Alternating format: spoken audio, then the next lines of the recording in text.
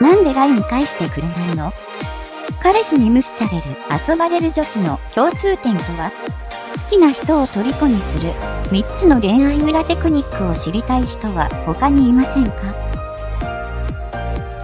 ?5、本気でなくても言える別れ際の定番。また会いましょう。クールに言われると、どうせ会うつもりないでしょと思う ?20 代男性のように、別れ際、無表情でまたと言われても、誰にでも言っていると感じる男性が多いようです。今度はに行きたいななど、次回のデートがより具体的になる一言をかけてはどうでしょうか。6、誰にでもできるようなことを褒める、すごい、話聞いてる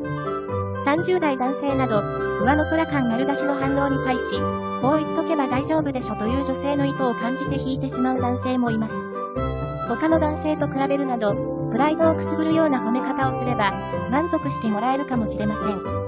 7、恥ずかしげもなくさらりという、好きです。軽いノリで、好きという女性は信用できない30代男性と、直球勝負の愛の言葉も、言い方次第では男性をしらけさせてしまうようです。その男性が心から好きならば、照れ隠しで軽く言うより、恥ずかしさを素直に出して伝える方がいいでしょう。8、いい年して、白々しい、こんなの初めて、何回目の初めて ?30 代男性のように、初めてを連呼する女性に対し、テンションがガタ落ちになる男性は多いようです。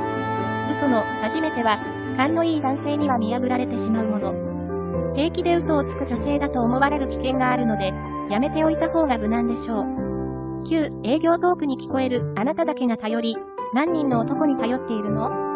?20 代男性のように、あなただけという言葉は、逆に、誰にでも言っている薄っぺらい感じがするという意見もありました。